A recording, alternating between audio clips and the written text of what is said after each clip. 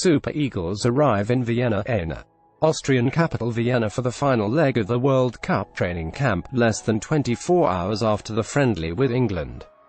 The Nigeria Football Federation confirmed that their team headed to their Austrian training camp on Sunday afternoon, before announcing their arrival in the country few minutes ago. The NFF tweeted, the Vienna Super Eagles have arrived in Vienna. They head to their Avita Resort base camp where they will train for the next couple of days. The Super Eagles will hold a training camp at their Avita Resort base camp. For eight days before they depart Austria for Russia on June 11, 2018. FIFA's 2018 World Cup regulations state that each team taking part in the final competition shall arrive in the host country at least five days before its first match.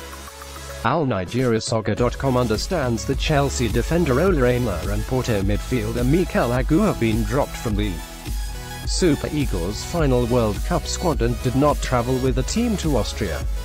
Nigeria will face Czech Republic in the last pre-World Cup friendly at the Rudolf Tonn Stadion, Schwechat on June 6. A Fanny Emmanuel photo credit, Thenf.com.